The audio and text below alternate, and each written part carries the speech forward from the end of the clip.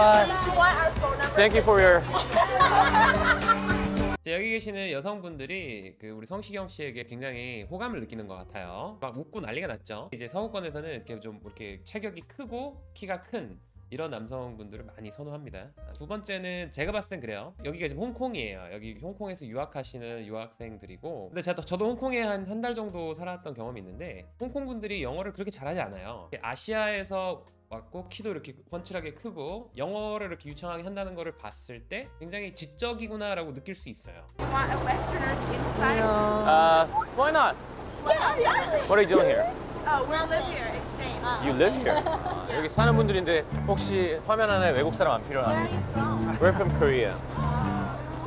자, 이 상황에서는 굉장히 정신이 없어요. 상황도 어수선하고 여성이 세 분이 서 있잖아요. 이 세 사람을 상대를 하려 그러면 진짜 신경이 많이 쓰인단 말이에요. 지금 여기다가 방송 촬영 중인 것까지 감안을 해야 되잖아요. 그러니까 성시경 씨 머릿속에는 지금 굉장히 많은 것들이 돌아가고 있는 상황이에요. 지금 이 상황에서 나오는 영어는 신경을 전혀 못 쓴 상태에서 나오는 영어입니다. 신경을 못 쓰는 상황에서도 저 정도 했다. 성시경 씨 영어 정말 정말 잘해요. 네. So can we be the show? You already are in the show. 조사를 해봤지만 성시경 씨 발음 완벽합니다. 네, 완벽하시고 어, 저번에 제가 신하영 씨를 좀 다뤘었는데 제가 비교해봤을 때도 거의 차이가 없지 않을까 싶을 정도로 원어민 수준이에요. 자 그러면은 성시경 씨가 왜 영어를 잘할까 그 이유를 좀 제가 찾아봤어요.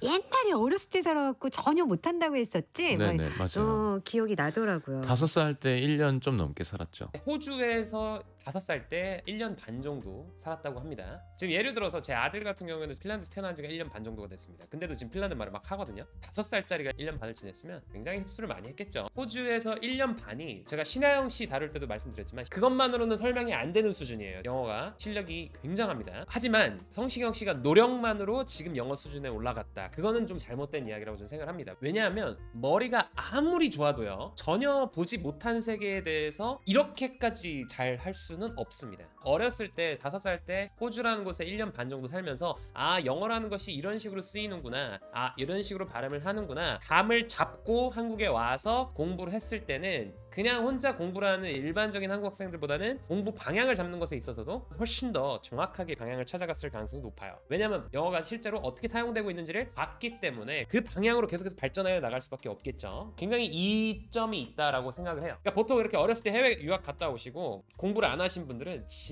짜 애매한 수준의 영어밖에 못해요. 네, 근데 이제 그걸 훨씬 뛰어넘은 수준입니다. 이렇게 말씀하시는 분들이 있으세요. 고려대학교를 나왔기 때문에 영어를 뭐 저 정도 하는 거지 않냐 이렇게 얘기를 하실 수 있는데 어 아니에요. 그냥 고려대학교 나왔다는 조건 하나로 저렇게 영어를 하는 건 불가능해요. 그 증거를 한번 보여드릴게요. Why do you like him?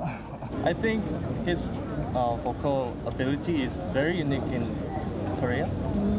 고려대학교 수- 학생 수준이 전체적으로 높. 그러니까 되게 우리 때는 이만큼 안 높았거든. 우리 때는 다 김성경 씨밖에 없었어요.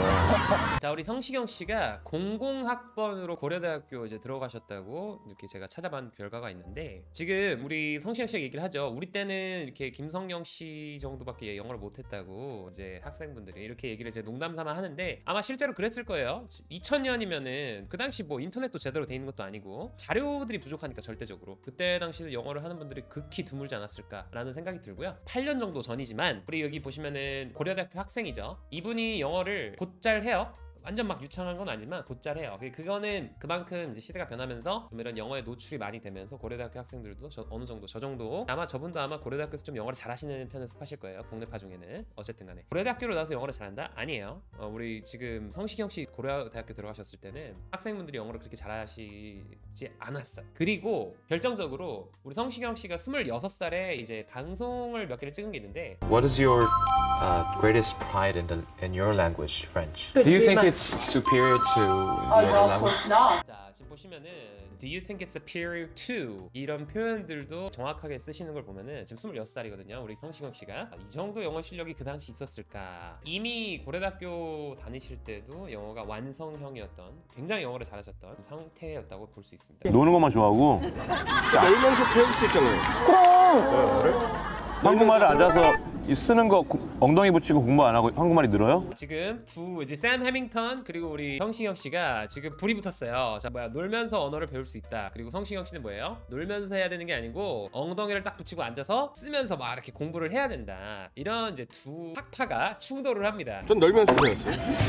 한국말 너무, 너무 잘하는데 쌤 완전 잘하는데. 언어가 소통하기 위해서 하는 거예요. 자, 언어는 소통을 하기 위해서 배운다. 맞아요. 그리고 의사소통이 가능해지는 시점까지는 사실 그렇게 어렵지가 않습니다. 어, 생각보다 어, 시간이 오래 걸리지가 않아요. 그래서 우리 샘 해밍턴 말하는 게 정말 맞다고 저는 생각을 해요. 그러니까 이제 샘 해밍턴은 술 마시면서 친구들이랑 놀면서 한국어를 배웠다고 해요. 이런 식으로 처음에 접근하는 게 나쁘지 않은 선택이라고 저는 생각을 합니다. 를 하는 거 봐. 12년 안 살아도 잘할 수 있다니까. 왜냐하면 엉덩이 붙이고 공부했기 때문이야 그거는. 성시경 씨가 이제 나는 12년 어디 막 해외 나가서 살지 않고도 이렇게 영어를 잘한다. 왜 그러냐면 나는 앉아서 정말 디테일하게 공부를 했기 때문이다 라고 얘기를 하시는데 이 말이 맞아요. 좀 어느 정도 의사소통 될 정도까지는 놀면서 해도 돼요. 근데 거기서 그 위로 올라가려고 그러면 공부를 하셔야 돼요. 그 쓸데 없는 거 배우는 거야.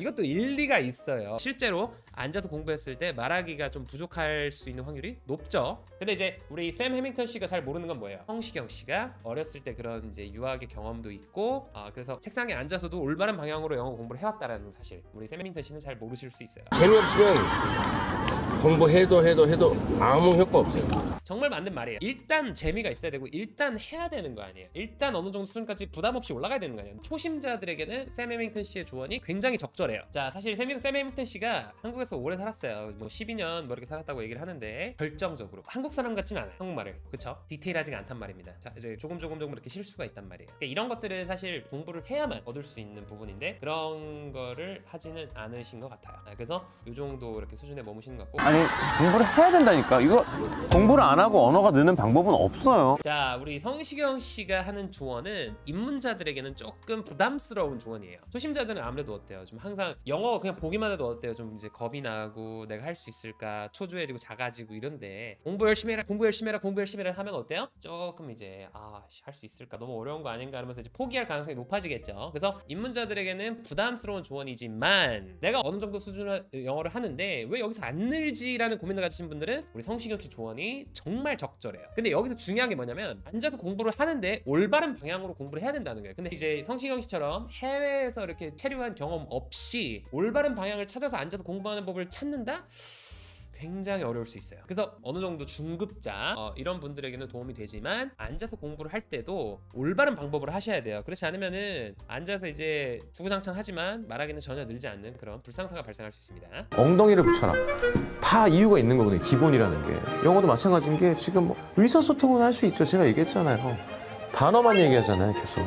그러면 안 돼요. 정말 맞는 말이에요. 단어만 계속 얘기한다는 게 뭐냐면 문장을 구성하는 걸 모른다는 얘기거든요. 그럼 문장을 구성하는 걸 알려면 어떻게 돼요? 앉아서 공부를 해야 된다 이 얘기예요. 음, 좀 이렇게 완벽하게 하는 어, 그런 성격이시다 보니까 좀 그냥 단어 몇 개 해서 이렇게 의사소통하는 정도는 성에 안 차는 거예요. 그런 부분에 있어서는 해밍턴이 해준 말이 맞는 것 같아. 내가 모를 때는 내가 좀 소극적이 되는데 내가 재미를 느끼니까 몰라도 왜 좀 약간 적극적이 될 수 있는. 그렇죠. 우리 이제 김성영 씨처럼 이렇게 조금 처음에 영어를 잘 못하시는 상황에서는 우리 샘 해밍턴 씨의 조언이 그 적절할 수 있습니다. 사실은 그 언어를 처음에 왜 그럼 하게 됐는가 그 계기가 좀 중요하거든요. 성시경 씨는 뭐 때문에 이렇게 영어를 이제 이렇게 하시게 됐나 보도록 하겠습니다. 저는 영어 공부는 중학교 때 네. 팝송에 꽂히면서 시작했고요. 아, 중학교 때 이제 머라이어 캐리 그 노래를 너무 좋아했고요. 그 노래를 정말 전달하는 메시지가 무엇인가 그거를 정말 알고 싶어서 영어를 공부를 하기 시작했다고 합니다. 그래서 언어 자체를 여러분들이 막 이렇게 매달릴 게 아니라 여러분들의 그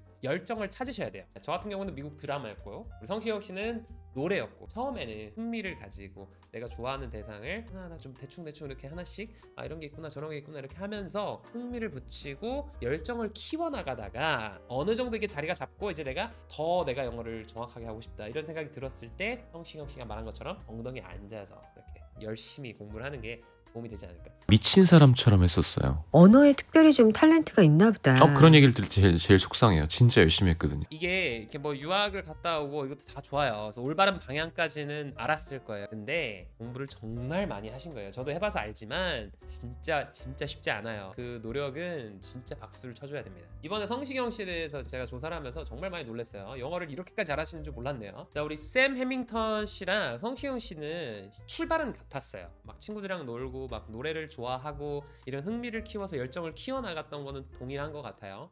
근데 이제 샘 해밍턴 씨는 거기서 이제 머무셨던 것 같아요. 성시경 씨는 이제 그 처음은 그렇게 시작을 했지만 중간에 엉덩이를 붙이고 앉아서 정확하게 영어를 공부를 하셔서 자연스러움은 이미 있는 상태에서 공부를 하니까 그 지식까지 더해져서 정말 완벽한 수준의 영어까지 키워 오신 게 아닌가라는 생각이 들어요. 그래서 여러분들이 초급자라면은 샘 해밍턴 씨가 말하는 것처럼 그 재미 위주로 내가 흥미를 키울 수 있는 쪽으로 계속 키워야 되고요. 중급자 내가 영어를 오래 했지만 이 정도밖에 안 된다. 왜 이럴까라는 생각을 하신 분들은 이제 공부를 하셔야 되는 거예요. 본격적으로. 근데 그 올바른 방향으로 공부하는 게 아직도 정보가 많이 부족해요. 그 정보가 궁금하신 분들은 저한테 연락을 주시면 제가 정확하게 영어를 공부해 나가는 정말 저 국내파, 정말 저는 토종 이런 한국 사람인 제가 저한테 통했던 그 방법, 제 학생들에게도 정말 잘 통하고 지금 굉장히 실력이 빠르게 향상되고 있는 그 방법을 소개해드리도록 하겠습니다. 자, 영상이 도움되셨다면 좋아요 그리고 구독 꼭 눌러주시기를 바라고요. 댓글에 여러분들은 초급자인지 중급자인지 고급자인지 아, 어떤 영어 방법으로 공부를 해오셨는지 한번 댓글에 남겨주세요. 감사합니다.